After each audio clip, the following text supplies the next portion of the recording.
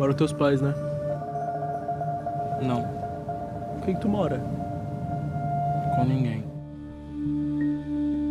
causa da morte da sua mãe foi determinada. A dona do apartamento falou que o aluguel já tá um mês atrasado. Se não encontrarmos nenhum parente, você vai pra uma casa de acolhimento.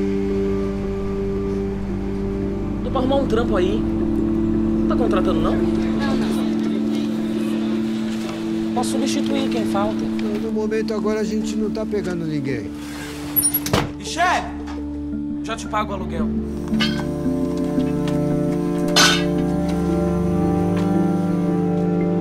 Tua família sabe de você? Sabe que tu é. Pensa, pai. Era viado com tua mãe. Aqui não. Precisa alugar apartamento. A diária venceu, vamos! Responde, eu vou te tirar daqui à força. Volte aqui, rapaz!